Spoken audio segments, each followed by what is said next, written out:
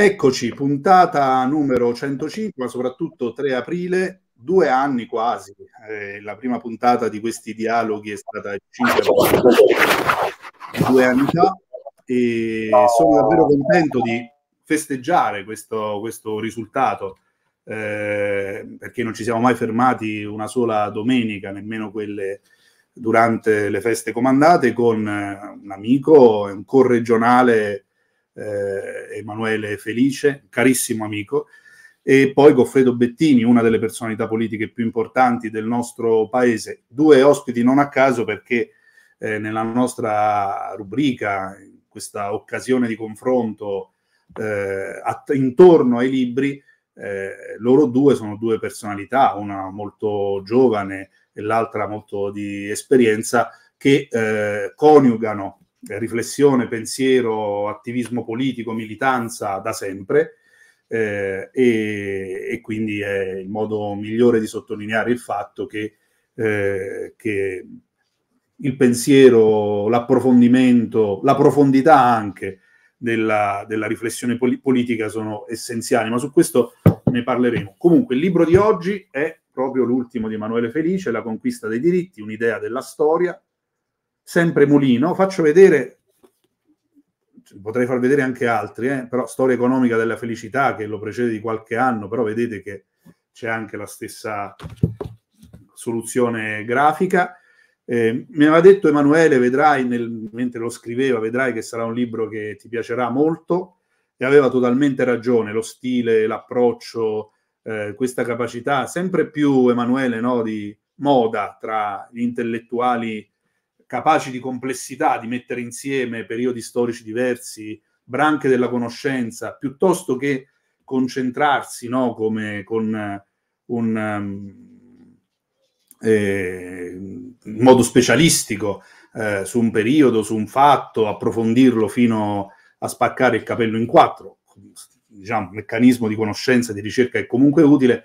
Eh, questa modalità ne abbiamo già parlato quando abbiamo parlato in precedenti puntate con te, eh, Diamond, Arari ed altri eh, ne sono stati star, questa modalità di abbracciare tanti eh, fatti e provare a dare una lettura, un filo rosso, eh, provare a trarne una, appunto un elemento di sintesi nella complessità è davvero molto affascinante.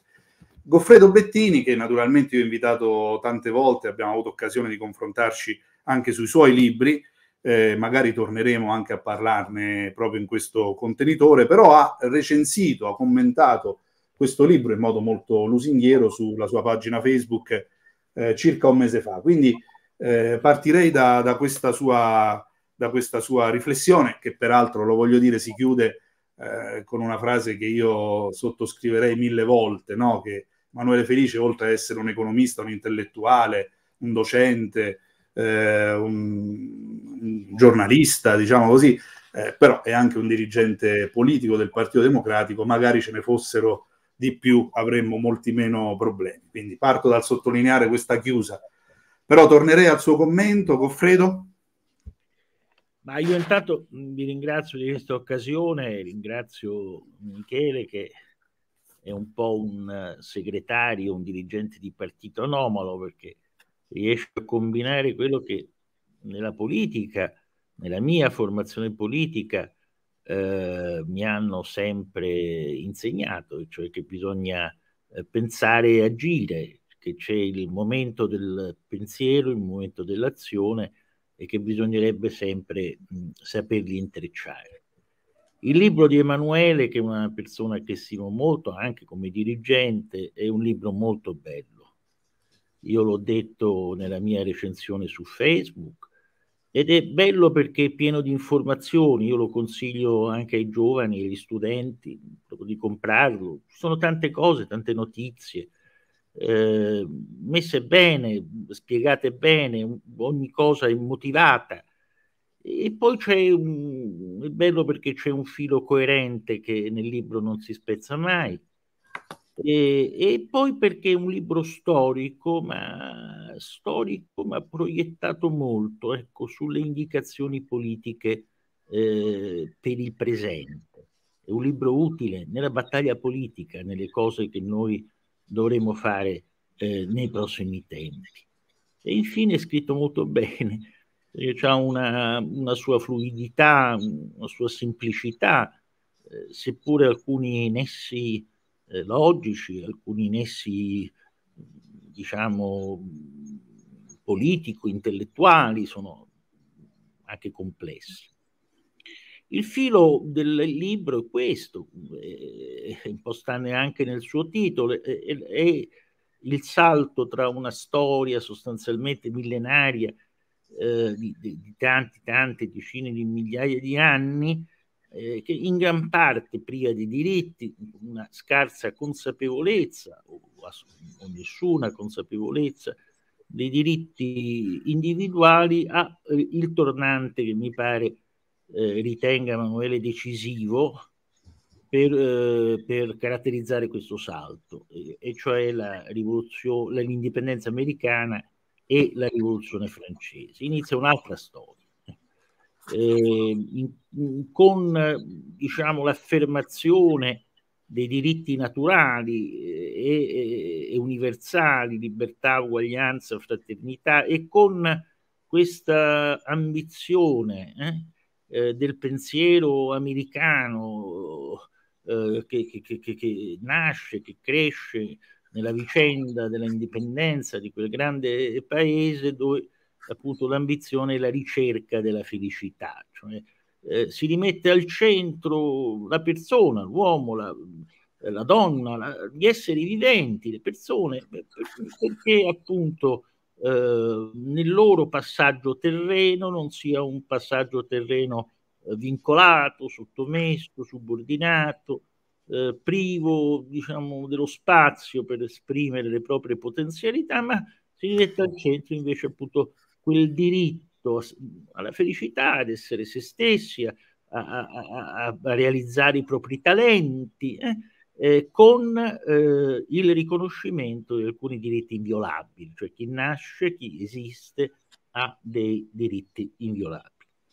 Questo è il retroterra di una, diciamo, di una forte egemonia, di un nuovo pensiero liberale eh, che rappresenta sicuramente un salto in avanti, nel libro lo sottolinea e io dico anche che è messo bene nel libro il fatto che questo passo in avanti però è un campo di battaglia. Ecco. In, questa, in questa nuova eh, eh, in questo nuovo territorio che si apre per l'umanità, per la storia dell'umanità, c'è, in, c'è una battaglia. Ecco, ci sono avanzate, ci sono ritorni indietro, perché la società che apre all'iniziativa, che apre a queste nuove possibilità delle persone, della, della, dell'affermazione delle persone, può essere anche però eh, se eh, curva verso un'idea egoistica, se noi poi l'abbiamo chiamata una forma di neoliberismo, cioè di assenza mh, totale di regole, di, un, di, una finalità eh, in qualche modo anche così eh, eh, pubblica, e tutto questo si può trasformare in disastro. Quindi è un terreno di battaglia che ha delle derivazioni e questo è messo molto bene nel libro, delle derivazioni eh, che vanno contrastate, ecco, che vanno eh, regolate attraverso eh, la politica. E in questo senso, cioè l'innesto eh, che eh, considera, poi io dirò una cosa su che, che considera assolutamente provvidenziale eh, l'autore, cioè Emanuele, tra questo pensiero liberale e diciamo il pensiero socialista.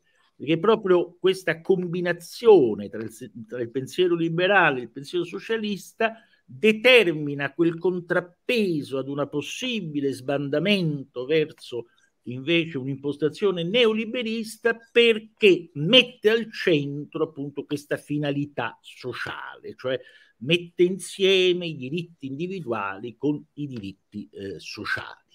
Tema attualissimo, io adesso abbiamo poco tempo, non posso dilungarmi, ma ecco, eh, c'è questa fotografia importante del processo eh, storico e del processo del pensiero del campo democratico nel quale questi due elementi debbono convergere e avere una osmosi. Quindi non c'è libertà, non c'è possibilità di iniziativa se c'è una condizione tale di sfruttamento, di povertà, di condizionamento, di apnea, di apnea eh, del, di tanti, di milioni e eh, milioni di persone che non riescono ad attingere a quella idea, a quella ricerca della felicità se non c'è appunto anche una condizione eh, decorosa, minima eh, eh, e sempre migliore eh, ecco, delle proprie condizioni. Infine, e questa è la parte del libro più affascinante, non è più affascinante, c'è eh, eh, la necessità oggi, di fronte a nuovi problemi, di unire queste, eh, questa sintesi tra eh, pensiero liberale e pensiero socialista con la cultura ambientalista. Qui però l'affronta Emanuele in modo veramente eh, forte, eh, suggestivo, eh, eh, non facendo il solito ragionamento, solo il solito ragionamento, peraltro importantissimo, che le risorse finiscono, che non ci sono, che andiamo verso la catastrofe climatica, di PPA, tutte le cose sacrosante che noi mh, mm, eh, diciamo, eh, quindi il consumo delle risorse, quindi la, una spinta all'autodistruzione verso fenomeni estremi, ma c'è qualche cosa di più. C'è qualche cosa di più che rimanda a, anche a qualcosa di profondo, di più profondo, e cioè di come la violenza e eh, l'indifferenza verso la sofferenza degli altri esseri eh, viventi non umani intossichi in realtà, ecco, intossichi. L'animo umano, lo predisponga all'atto di uccidere, ecco, e, quindi sia un grande tema proprio di progresso generale delle relazioni tra i viventi nella, eh, nel mondo di oggi. E eh, questa assoluta indifferenza eh, qui c'è una parte molto bella di suggerimenti anche pratici di che cosa si potrebbe fare anche gradualmente, senza estremismi, però il nucleo è fortissimo da un punto di vista del posizionamento eh, perché richiama qualche cosa, ripeto, di profondo della civiltà occidentale, e cioè quella che un grandissimo autore che io amo molto, Elias Canetti, nel suo eh, grande, fondamentale libro Massi e Potere, de, eh, definisce la soddisfazione del sopravvissuto. Cioè nell'animo umano c'è comunque sempre eh, di fronte alla morte la soddisfazione, tu muori e io vivo. E, e, e questa soddisfazione è una soddisfazione che parte dall'angoscia, che tutti gli esseri umani hanno della morte. E cioè nel momento in cui tu decreti la fine dell'altro ti senti Dio, quindi immortale, superi il, quel momento di angoscia di morte che invece ipoteca tutta la tua vita e che ti porta appunto, ripeto, a eh, avere la soddisfazione intima, profonda nella pianta umana. Ecco, se devo fare un'annotazione di differenza forse tra me e Emanuele nel, in, in, in, in, giudizio, insomma, in una valutazione della pianta umana, vedo eh, Emanuele un po' più ottimista di me.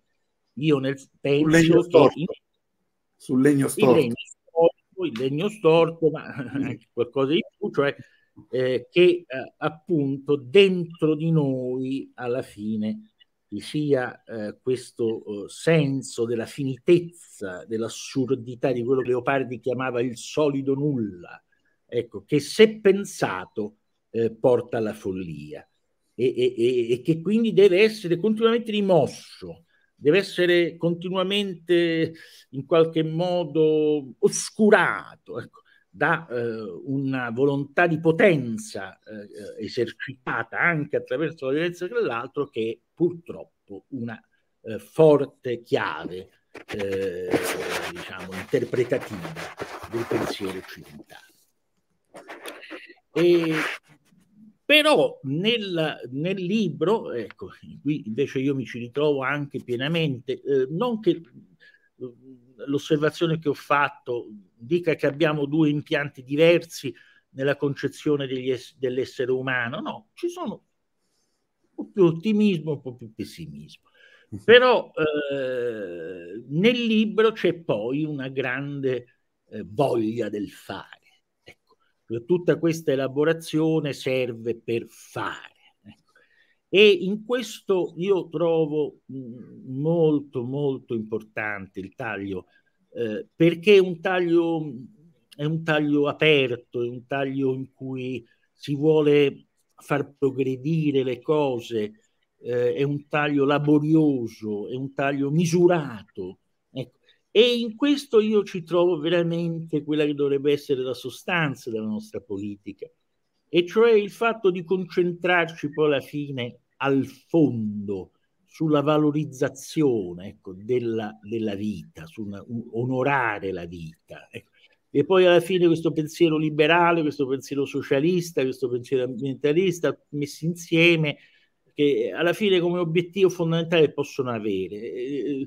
Eh, eh, certo, chi crede, ma eh, sappiamo che la, la, fede è una grazia, nel mio caso per esempio non ce l'ho, chi crede pensa che si possa, eh, che si possa mh, preparare qualcosa per il dopo, e però chi non crede eh, deve essere eh, agganciato insomma, a quello che effettivamente può fare può fare, eh, senza, senza vanità, poi ci torno un attimo, ma eh, per quello che si può fare. E nel fare c'è anche il, la convergenza tra i credenti e i non credenti. Naturalmente i credenti hanno anche un secondo tema, eh, tempo, i, i, non credenti no, però nel fare, ecco, nel fare, nel, tem- nel segno dei tempi, come eh, si disse negli anni 60, da parte eh, di Giovanni XXIII nel segno dei tempi. Ecco, c'è la possibilità di una convergenza piena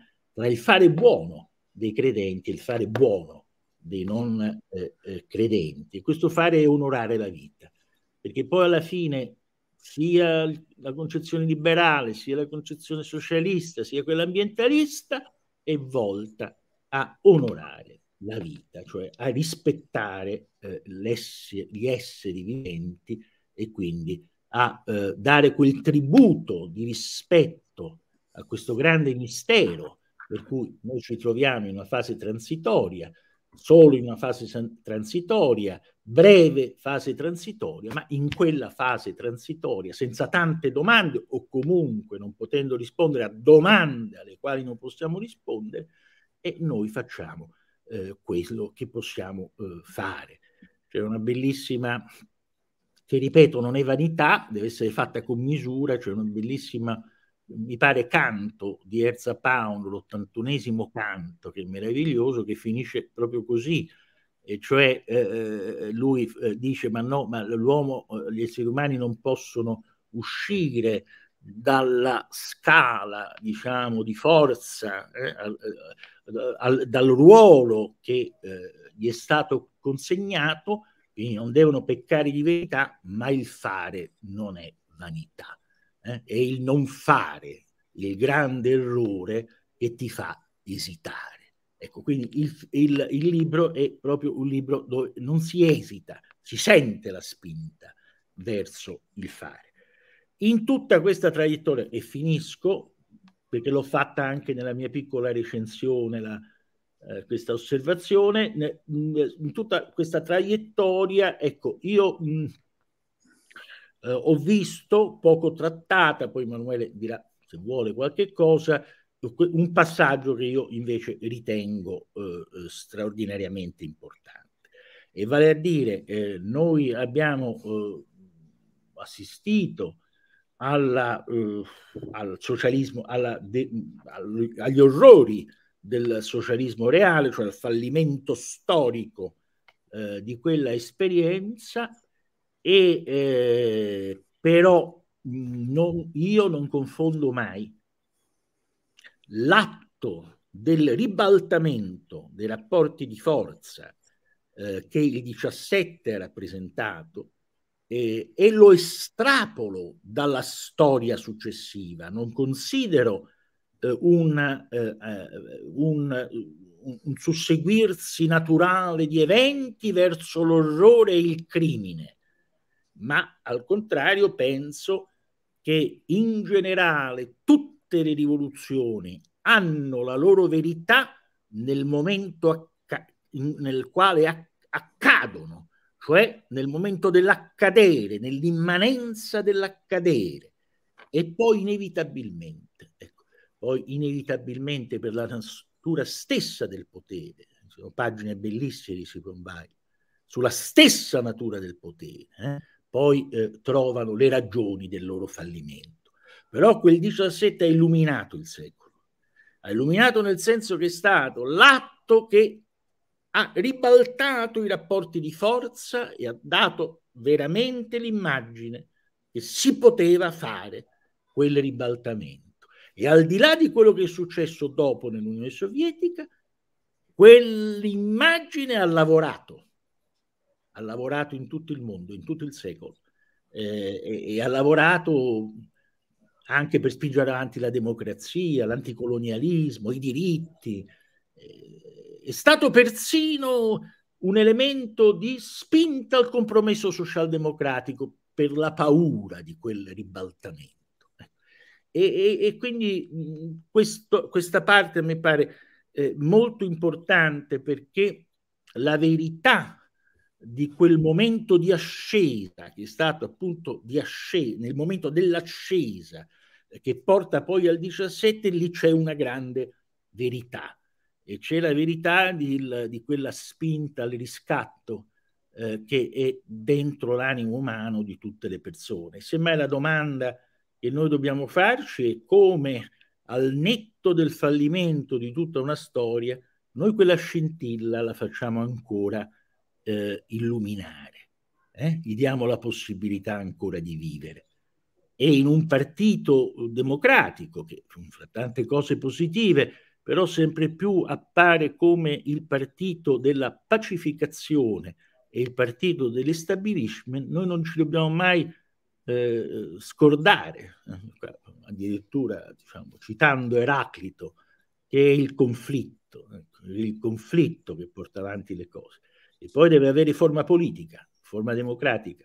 Ma se si snerva la storia dal conflitto, noi non avremo neppure avuto il pensiero liberale, quello socialista, quello ambientalista. E di, quindi non è la pacificazione, perché la pacificazione è la riconferma dello status quo, è il conflitto che invece apre nuove prospettive eh, a quella storia dei diritti in tutto il libro così bene, con così grande forza, viene raccontata. Grazie davvero di questa, eh, di questa introduzione e recensione, eh, Goffredo. Eh, Emanuele, naturalmente, oltre, oltre, che il commento alle cose che, che abbiamo ascoltato, ti chiederei di tornare ah, innanzitutto su come nasce questo progetto, te lo chiedo subito, come nasce questo libro e come i tuoi precedenti lavori però il riferimento alla pianta dell'uomo, no? appunto mi è venuto subito in mente eh, Kant, eh, il legno storto eh, di cui l'uomo è fatto, eh, da cui non può uscire nulla di interamente diritto, no? credo che la citazione corretta sia questa. Effettivamente il tuo libro parte da una negazione di nichilismi, scetticismi, eh, è un'affermazione della ragione, e della storia, così come tu la spieghi molto bene già dall'introduzione. Eh, però appunto un'osservazione su questo, così come sul 17, eh, senza, senza dubbio, e naturalmente anche questo libro credo tu l'abbia consegnato alle stampe eh, qualche mese fa, è, di, è, uscito di recente, però insomma eh, un po' come lo sconvolgimento geopolitico mondiale fa i conti o come le tue tesi di connessione tra liberalismo, socialismo, ambientalismo fanno i conti con il quadro che si va delineando, con uno sconvolgimento così profondo, con una pandemia in qualche modo già il libro fa i conti, ma insomma questo è, questo è, venuto, è avvenuto di recente, tu ne hai parlato e scritto, ti ti volevo chiedere appunto di mettere insieme il tuo lavoro, il tuo saggio e i fatti che ci travolgono. Grazie, grazie Michele e grazie Goffredo per questa, per questa discussione bellissima del mio libro. Dico una cosa al volo, sia Michele sia Goffredo Bettini hanno fatto un elogio insomma, a me come dirigente del PD ad avercene. Io dico, ad, io insomma, adesso ho un ruolo più marginale nel partito, ovviamente, e infatti sono tornato a scrivere agli studi, però io dico ad avercene di dirigenti come voi che leggono, studiano e sono a questo livello e propongono libri. Che guardate che è molto importante perché poi nei grandi tornanti storici eh, la cultura, lo studio, la storia aiutano a prendere la strada giusta e non quella sbagliata. E noi adesso stiamo vivendo un tornante storico drammatico e fondamentale. È importante avere dirigenti che insomma, abbiano una solida cultura alle spalle. In questo veramente vi ammiro molto. Ad avercene come voi. E dunque, ehm, io insomma, come studi sono uno storico dell'economia. Ora, a parte alcune cose sul, che sono poi la base del mio lavoro sulla storia dell'economia dell'Italia e del Mezzogiorno, e capita insomma che ci si interroga anche, che ci si interroghi anche su grandi temi. E uno studio di prima che Michele Fina aveva menzionato e ho affrontato il rapporto tra sviluppo dell'economia ed etica nel lungo periodo. Questo libro è un pochino la seconda parte, la seconda gamba, cioè il rapporto tra sviluppo economico e dimensione non etica, bensì politica, e, ehm, che è una dimensione più ampia che necessitava della prima, perché l'etica è fondamentale, perché io parto dall'idea che la realizzazione umana, la felicità dell'uomo si faccia insieme agli altri che quindi il progresso economico ci ha messo nelle condizioni di affermare i diritti, ma non solo i diritti individuali, ma i diritti sociali, ora anche i diritti ambientali, i diritti degli altri animali senzienti, appunto al fine di una realizzazione umana che non è una realizzazione di individui atomistici, isolati o che si fondi sull'oppressione, ma che invece deve essere relazionale. Quindi questa è la premessa del mio percorso di studi.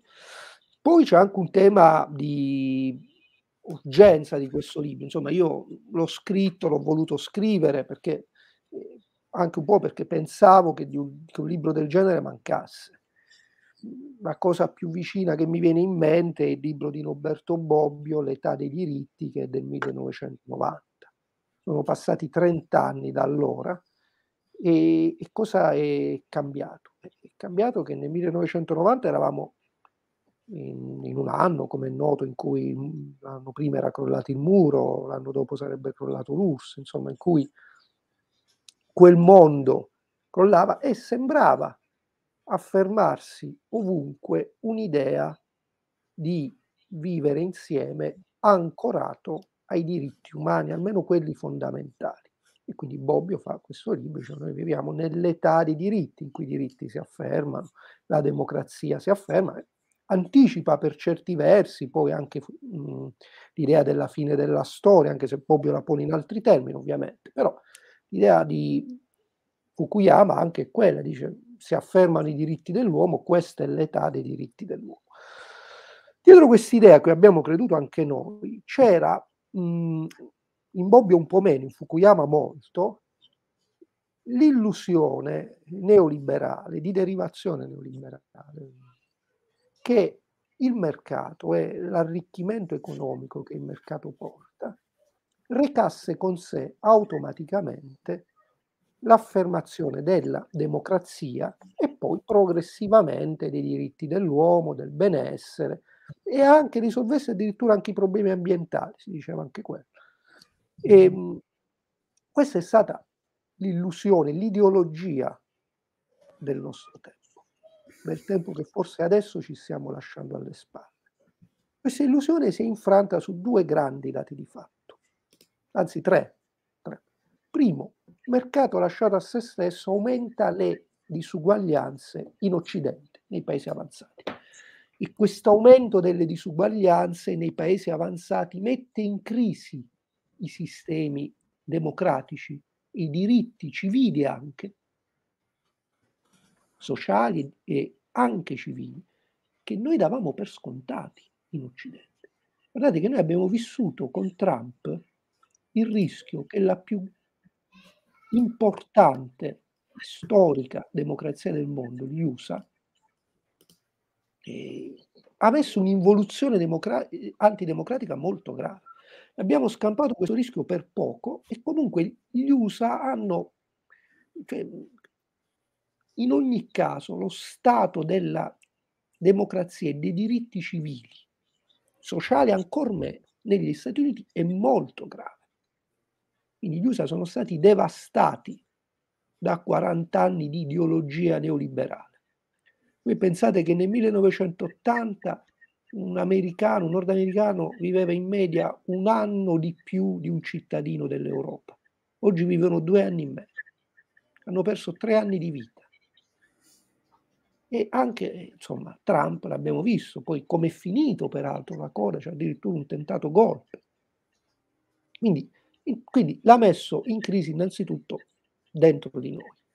Secondo, noi pensavamo che la Cina, la Russia, gli Emirati Arabi, con lo sviluppo economico sarebbero diventati maggiormente democratici, si sarebbero progressivamente democratizzati. Invece è avvenuto il contrario. La Cina è diventata meno democratica. La Russia di Putin è diventata meno democratica rispetto a quella di Yeltsin, di come era la Russia di Putin all'inizio dello stesso Putin. Quindi c'è un'involuzione antidemocratica. I paesi arabi oggi molto ricchi, come appunto gli Emirati Arabi, l'Arabia Saudita, l'Arabia Saudita è il terzo paese che spende di più per le armi al mondo. E... A breve sarà superato dalla Germania, mi pare di capire da queste ultime notizie.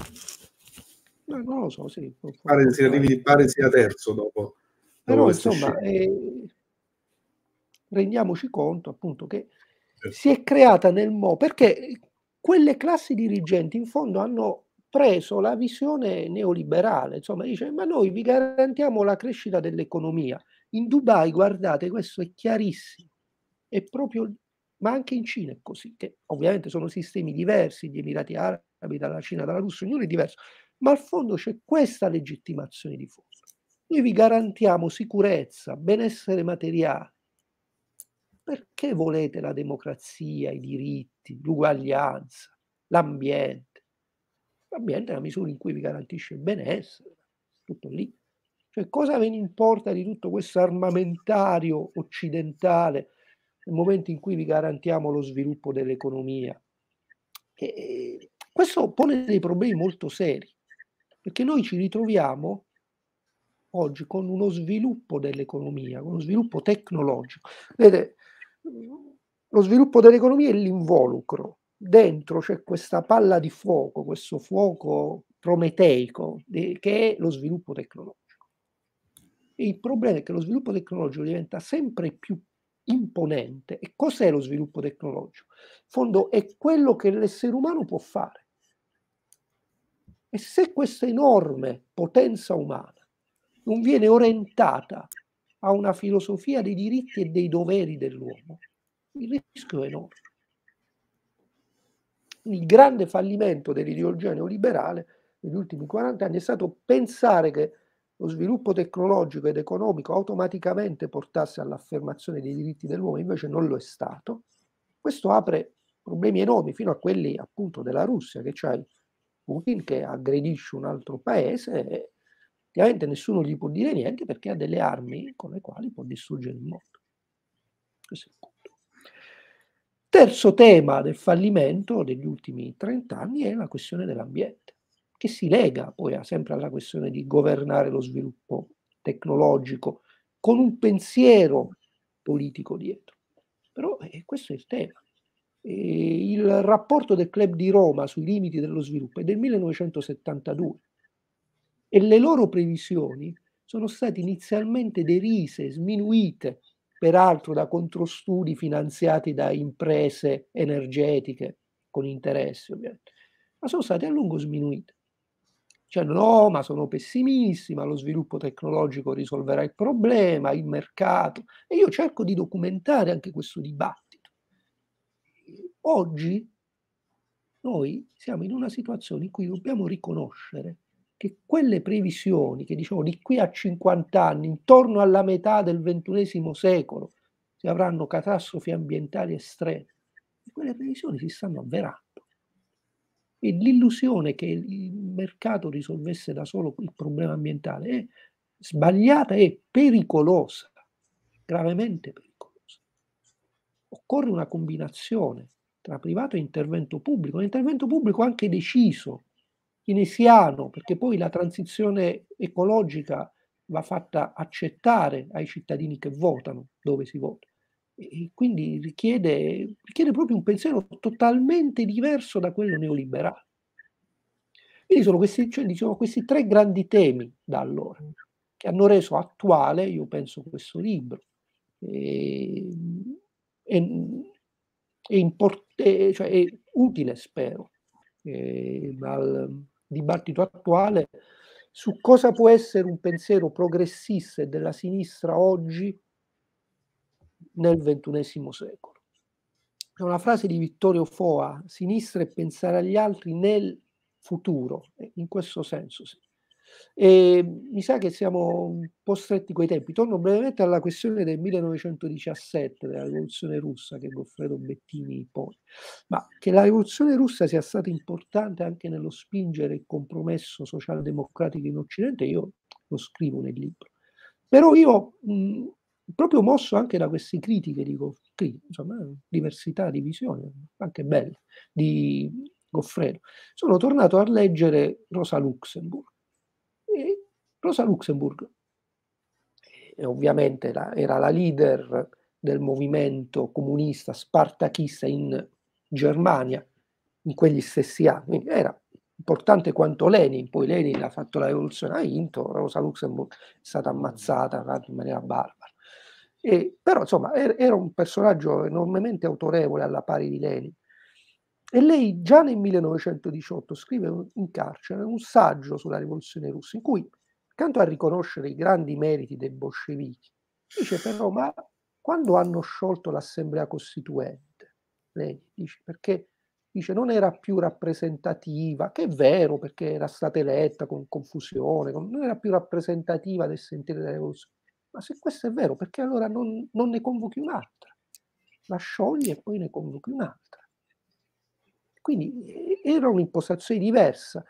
Nel caso di Rosa Luxemburg, che riconosce la grandezza della lotta contro la guerra, delle ragioni dei bolscevichi, però lei si pone in una dimensione in cui dice guardate che il sistema comunista fallisce, si sgancia dall'assoluta libertà di stampa e, e lei lo nota già allora nella Russia di Lenin queste cose qui.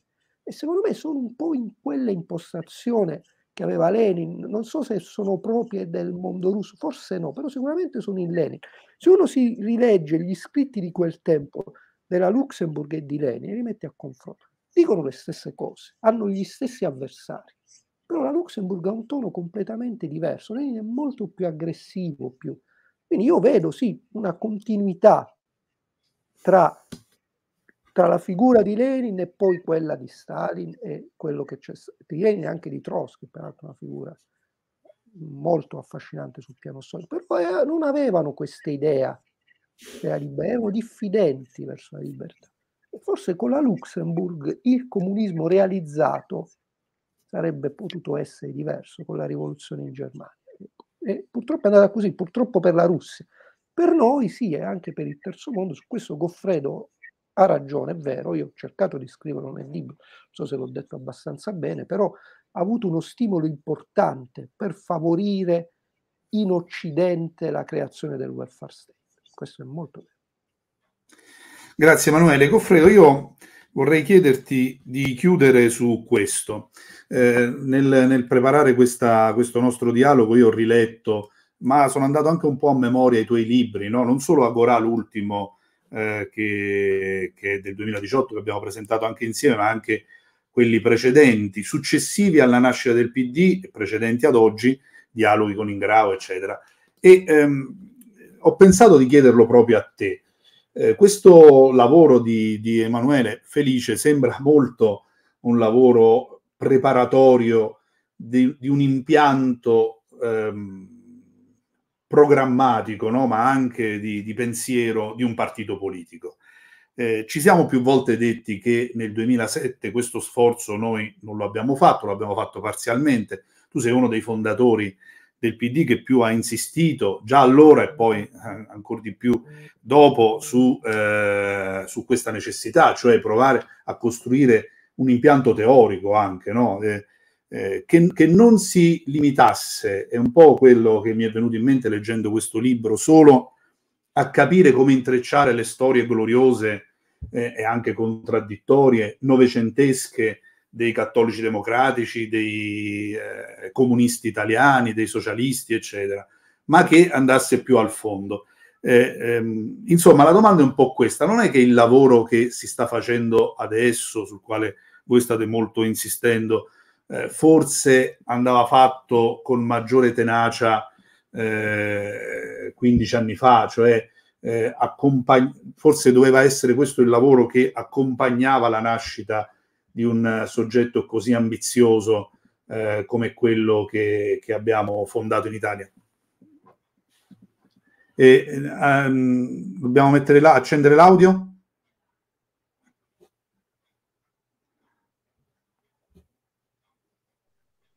Eccoci. Tu tocchi un, un, punto decisivo che è stato anche un po' eh, punto di autocritica, di riflessione anche sulla mia, diciamo, azione politica. Eh, io preparai proprio la svolta del Partito Democratico da un punto di vista anche teorico eh, molto prima che avvenisse. Eh, adesso non voglio dilungarmi, soprattutto parlare di me, però eh, molto prima mh, mm, e, e, poi ho creduto molto nel Partito Democratico e, e, ne sono stato anche responsabile diretto della costruzione perché ero il coordinatore della fase proprio di costruzione costituente del Partito Democratico. Eh, lì eh, è venuto subito alla luce eh, una, un'ambivalenza nel gruppo dirigente di Veltroni, diciamo. Mm, perché eh, c'era un gruppo dirigente, eh, fra virgolette, diciamo così, eh, più di stampo liberale e un gruppo dirigente invece più di stampo di sinistra persino di sinistra ingraiana.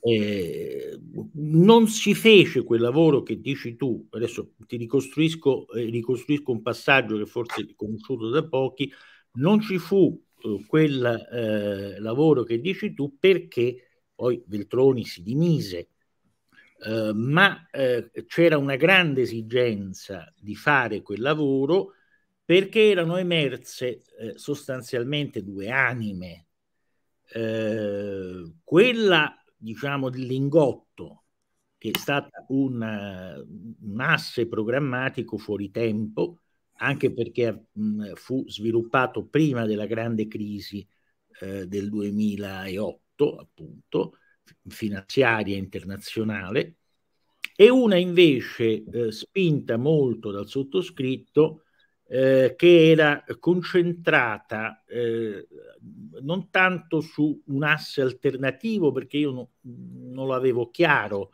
se non in termini di sensibilità, eh, insomma, di temi, eh, che già allora insomma, eh, c'era una discussione tra di noi, però non tanto su questo, ma sulla forma partito. Nel senso che io ritenevo il Partito Democratico un partito che doveva soprattutto rimettere insieme il rapporto tra i cittadini, le persone e la politica, perché dopo la fine dei partiti di massa non c'era stata nessuna ricerca in questa direzione.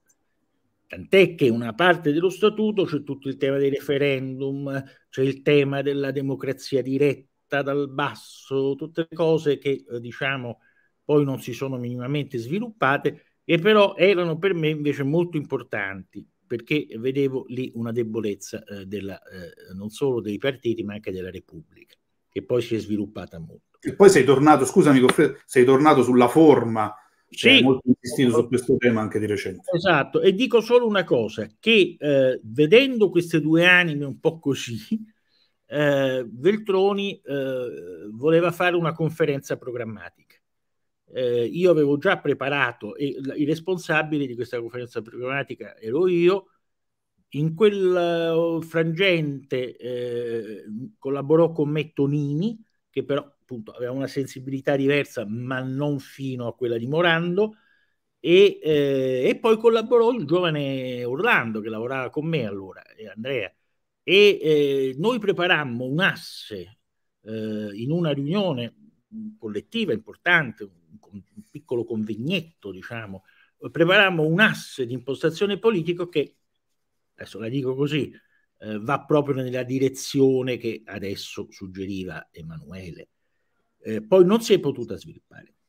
E successivamente eh, ci sono stati eh, le cose che ci sono state, vabbè, adesso non voglio ricostruire nulla, ma io poi sentivo nella esperienza di Bersani che eh, sì, venivano riproposti temi di contenuto anche più vicini alla mia sensibilità, ma che eh, era completamente sparita l'ambizione eh, di un nuovo soggetto politico in grado di essere il raccordo tra il potere e la gente, come sono stati i grandi partiti di massa finiti male, e, e che però era compito nostro andare in quella direzione. Questa cosa fu totalmente assente.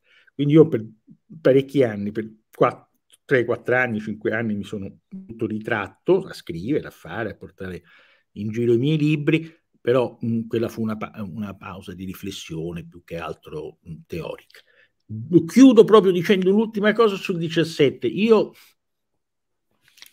vorrei che non si sottovalutasse però eh, un tema, cioè la Rosa Luxemburg aveva di fronte eh, eh, una sapiente cultura, eh, diciamo, sullo Stato, sulla democrazia, eh, che veniva dalla cultura del suo paese, tedesca, dalla, dall'esperienza del movimento operaio più colto eh, dell'epoca, ecco. eh, più forte, più colto, teoricamente più brillante. Mm, Lenin eh, si, si, innestò dentro invece ad una arretratezza eh, delle istituzioni, eh, eh del, dei rapporti eh, istituzionali, cioè, aveva di fronte l'autocrazia degli, degli, degli zar. E Lenin si trovò di fronte a questo preciso dilemma di fronte a questa autocrazia e a questo Stato che era per certi aspetti persino medievale, eh, aveva però una spinta, una spinta straordinaria di popolo per il riscatto che univa in sé, eh, in un unico punto di crisi, tre elementi fondamentali, e cioè i soldati che erano stati in guerra e, e che eh, furono utilizzati dalla destra in Europa, mentre lui seppe utilizzarli per la rivoluzione in, eh, eh, nella Russia, e gli operai sfruttati eh, eh, che eh, er, er, avevano una voglia di riscatto in una fase di capitalismo agli albori nel, eh, nel, nell'Unione Sovietica e i contadini che erano eh, eh, sì, usciti dalla servitù della gleba, ma insomma stiamo, stiamo lì. Cioè lui si trovò di fronte a uno Stato da abbattere di quel tipo e una spinta straordinaria che univa insieme tutte queste cose. Lui valutò che questa spinta non si sarebbe potuta disciplinare dentro ad un passaggio, ci fu una discussione. Come si fa a fare una rivoluzione senza prima fare un passaggio democratico e borghese? Ci fu questa discussione, anche nel gruppo di docente bolscevico. Eppure lui colse, qui c'è una genialità politica di Lenin che se non riusciva in quel momento a mettere insieme quelle, quei tre disagi e a dargli immediatamente una forma politica, quei disagi non avevano la forza di aspettare diciamo, un processo più eh, graduale. Ecco, cioè, eh, eh cioè, chi dice se allora vinceva, eh, avrebbe, avesse vinto Kereschi, noi saremmo stati in una posizione. Io non lo so se questo. So soltanto una cosa, che quello ha permesso di fare quell'atto che ha un valore immenso e che dopo quell'atto, immediatamente dopo quell'atto, è, c'è stata una straordinaria involuzione.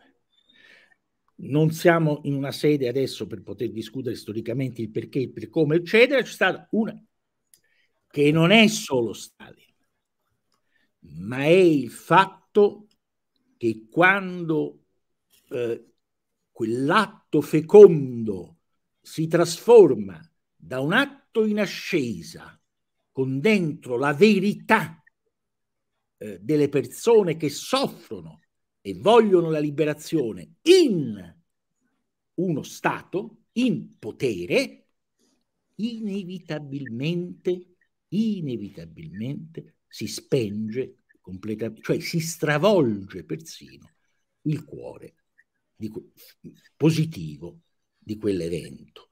Ma questo non succede, non è successo solo per l'Unione Sovietica, perché anche nei regimi liberali regge l'intercapedine, certo in forme diverse, ci sono più garanzie, c'è la libertà di Stato, ma c'è sempre l'intercapedine tra chi esercita il potere e chi lo subisce. Certo. È più trasparente, cioè, quell'intercapedine rimane. E oggi quell'intercapedine è spaventosamente grande, proprio per le cose cui, eh, di cui parlava lo stesso Emanuele. Grazie davvero, avrei dialogato con voi altre ore, eh, ma insomma chiudiamo qui questo, questo, in questo contenitore, così in eh, televisione potrà gestire i nostri tempi. Faccio però rivedere il libro, La conquista dei diritti, un'idea della storia. Emanuele Felice, davvero consiglio la lettura e visto che siamo entrambi abruzzesi, coglieremo l'occasione di presentarlo anche dal vivo, nelle nuove condizioni e magari di portare Goffredo in Abruzzo ne sarei anche davvero. Roma, eh, fare una bella cosa anche a Roma con voi. In Abruzzo io vengo molto volentieri. A Vasto, allora l'impegno è doppio, l'impegno è doppio, grazie davvero e buona domenica. Grazie a te, grazie, Michele, grazie buon a voi, lavoro. Grazie di cuore.